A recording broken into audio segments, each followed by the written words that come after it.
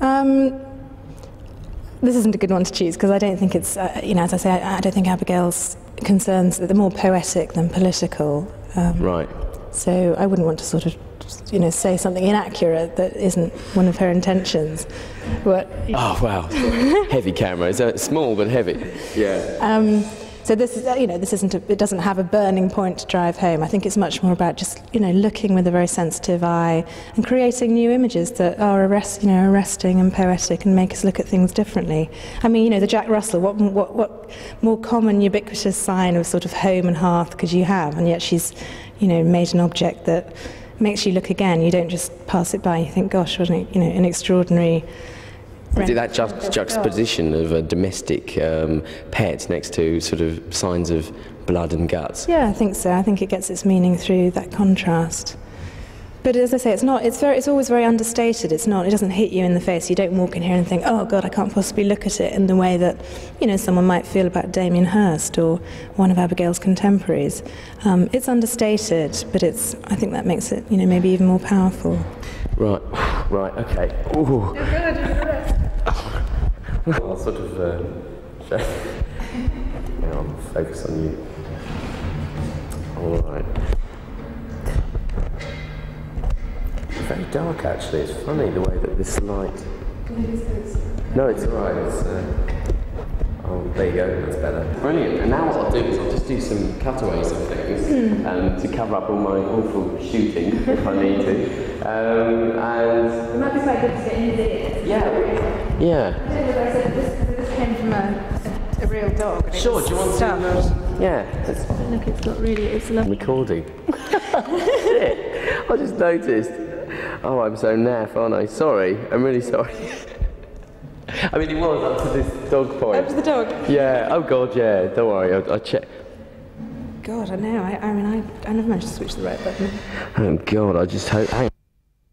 Do that again? Yeah, sure. That was so good. Give and me the question. Do you mind sort of. Yeah. What was the question? Oh, yeah. Um, so, why do you think she sort of used, um, well, this concrete. No, I was talking about dogs and cat surrogates, wasn't I? Dogs and cat surrogates. Yeah. Um, I think part of the reason that this this object is very uncanny, it has this sort of sense of being quite disturbing, even though it seems so familiar, is the way that you don't often see um, representations of dogs and cats. And this this object has actually been taken, has been cast from a, a taxidermied um, dog, a, a, dog that I hasten to say died naturally, um, but was subsequently stuffed. No Damien Hirst here. No Damien Hirst here. And um, but there is that sort of odd thing that you very rarely see do- stuffed dogs and animals, dogs and cats, sorry, um, because they are very, very sort of similar to humans in a way. They become um, almost human surrogates that you know loved as pets or whatever. So I think that does account almost for its its sort of deep sense of strangeness. Why do you think it is that um, she didn't just use a stuffed um, dog and she's actually kind of treated this one? I think if it had been a stuffed dog, it would have almost just been too close to life. It wouldn't have become art. And in casting it in, co- in concrete, it's, ve- it's really, really delicate. So although it's picked up some of the hairs from the inside of the, of the mould, um, which makes it seem very lifelike, it, you still know very much what the material is that it's made of, and it's in- incredibly fragile. You sort of get the sense that if you were to touch it, that it might almost crumble away. It's it's very dusty. Um, Reminds me of the one, um, the dog in Pompeii. Is that a stuck on? That's a stuffed dog. It's um, it's um, basically fossilized. Oh, it's in, in the lava. Yeah. In the ash. Yeah, well, I think it very much has that sense. It's petrified. It's literally, you know, rooted to the spot. It's like Lot's wife or whatever being turned into a pillar. Of so it has that that sense of sort of life frozen in a moment, i.e., becoming death. Wow. Um, um, that's a really nice shot, by the way. I just oh. realised. no, no, with you in it. I mean. Oh, yeah. yeah. Um, I just wanted to ask a general question um, about the ICA and stuff. Um, how do you how do you win audiences at the ICA? How do you steal customers, say, from the Tate and other places? Um, well, we do it through a variety of ways, and um, I suppose the principal one is to try and make sure that we have a really diverse program, a really Catholic program, so that it, it appeals to lots of different um, constituencies, a lot of different people who may already be going to galleries or who may go very, very occasionally. Um, So we'll often work with slightly better known artists and then at the same time program much younger or emerging artists like Abigail. So, um, you know, someone might come to, to, to, go, to come and see the bigger name artist, but they'll also then be um, exposed, will experience younger art, which might be, you know, may, maybe more adventurous or whatever. So, um, you know, we're not in the, we're not in the business of becoming like the Tate. It's a very the ICA has a very yeah. I just wanted to ask a general question um, about the ICA and stuff. Um, how do you how do you win audiences at the ICA? How do you steal customers, say, from the Tate and other places?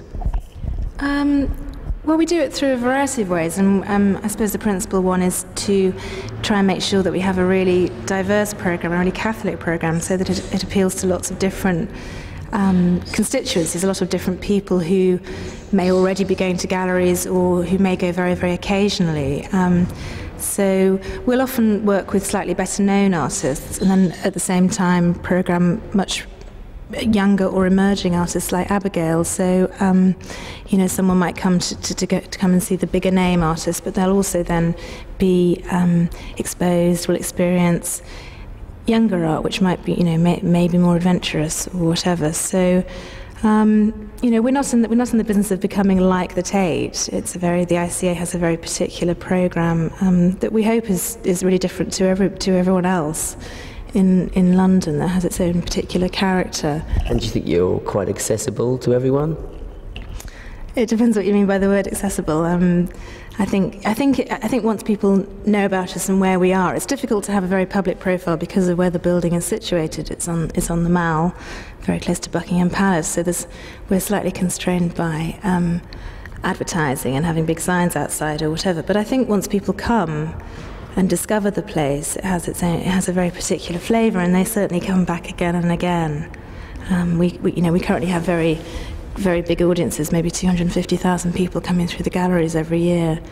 So um, from that from that point of view, yes, we have a very we have a very loyal audience, and we're always hoping to extend our audiences. But um, in terms of accessibility, um, you know, we, we try and make the exhibitions as, as open as possible and, and try and supply as much information as possible for members of the audience who maybe want to know more background and more information about the artists and where they've come from, or um, whatever. But I mean, I think it is difficult because there's, there's very much a sort of popular feeling that contemporary art is very inaccessible per se, and that's one of the things you know that we're here to do. That's one of our main roles is to is to encourage people to enjoy it. You know, it's it's maybe not about being difficult; it's actually about being enjoyable. You see yourselves as um, fluxists. Fluxists. Um, Distributing the art through the world. Massive. Well, not, a, not in a sort of proselytizing way. I mean, we wouldn't want to be evangelical about it at all, but I think it's. I think I think over the last few years things things are starting to change. I mean, a lot more contemporary artists have become household names. People like Rachel Whiteread and Damien Hirst. Um, so there's there's a, there's a much more greater openness to contemporary art, I think, and I, th- and I, think that's reflected in the way that over the last few years it has become more accessible. We've got artists talking about real life things, real life issues and ideas, rather than you know always painting abstract paintings, which I think a lot of people find difficulty identifying with. Great.